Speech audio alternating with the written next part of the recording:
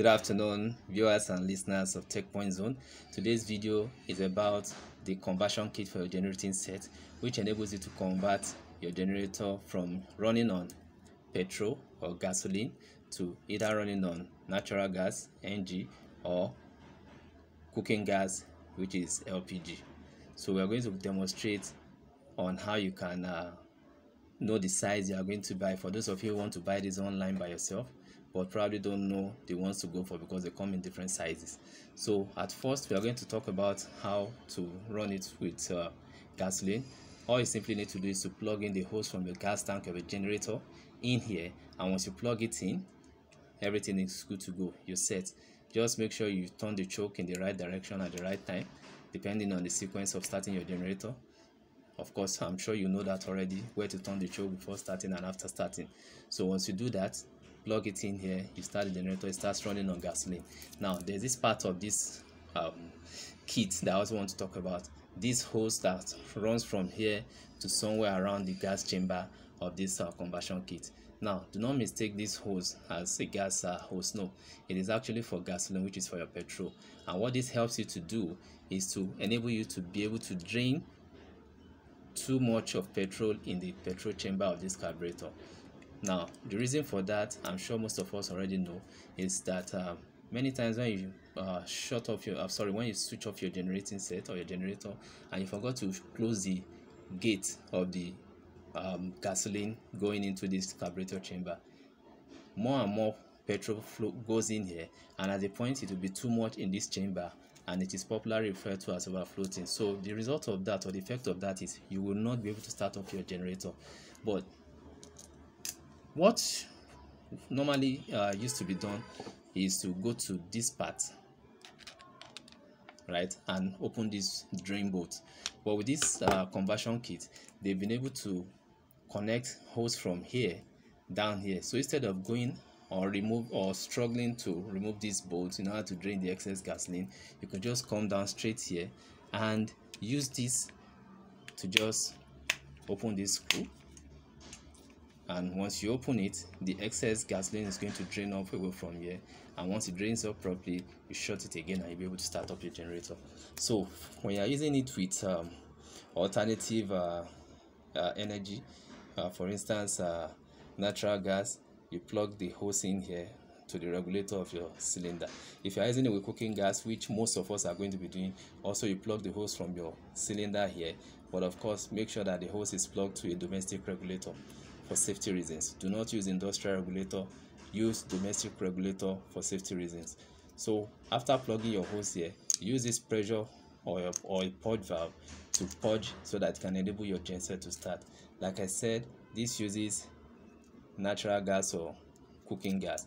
When this particular one is upright, right, it is using LPG, and when it is sideways, it is running on CNG. So pay attention to that know the type of fuel you're using at any point in time and know where to turn it so for the purpose of using it with lpg which is a cooking gas you turn it straight up now uh, also this is going to uh, come in different sizes so for those of you who want to buy online and you don't know the size to go for this is a quick guide on how to know so some sellers will put the size there and tell you oh this is specifically for maybe 2 kilowatt to 3 kilowatt generator but if you don't know what to still look out for, well, some other sellers will put the generator's capacity and also the measurement of the aperture of the carburetor.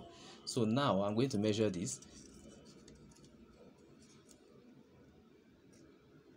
If you check, this is 24 mm.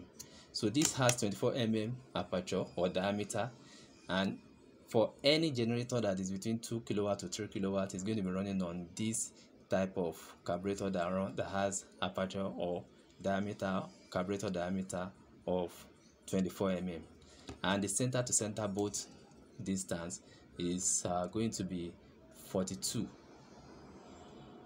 so once you go online and you see anyone with center to center bolt of 42 and inter diameter of 24 that means it's going to be a perfect fit for your 2 to 3 kilowatt generator. Now if you don't know the size if you don't know the size of your generator in terms of kilowatt then you can also use the horsepower rating. So for easy uh, for, for for the sake of uh, understanding uh, one horsepower is equal to 745 watts. So you can do the conversion of maybe your two 2.5 horsepower to 3 horsepower to 3.2 horsepower. But you can rest assured that anything between your 2200 which is 2.2 to 3.2 horsepower is also going to fit between the 2 to 3 kilowatt uh, sizing which means you can still go for this particular one of 24 mm internal diameter and 42 mm center to center bolt now if you have a generator that is slightly bigger right? Then you need to go for something bigger. So this is a generator uh, so sorry this is a carburetor for a bigger generating set. Of course uh, i do not have a conversion kit for a bigger gen set but i have a sample carburetor for my bigger generator. And for that you are going to have to measure the internal diameter also. And for this one it's going to give you 30 mm so you can see 30 mm 30 mm so if your generator is anything above 3 kilowatts say for instance from 3.2 to 10 kilowatts you are going to need conversion kit right that has internal diameter for this carburetor of 30 mm and the center to center bolt distance is going to be 52 mm so this is just to assist you in your ordering so that you don't end up ordering uh, oversized or undersized conversion kit for your generator. So you can see this 52.3 something but it's averagely 52 mm center to center bolt distance for bigger generating set between 3.1 3.2 kilowatts to 10 kilowatts. While these will work perfectly well for between 2 kilowatts to 3 kilowatts i hope this video helps. If you find this video interesting please like subscribe share and hit bell, uh, the bell icon for notification so that you can get notification when our other videos come out. The next video we're going to be doing is going to be on how to fix this on your gen set. Thanks for now. Stay blessed. See you in the next video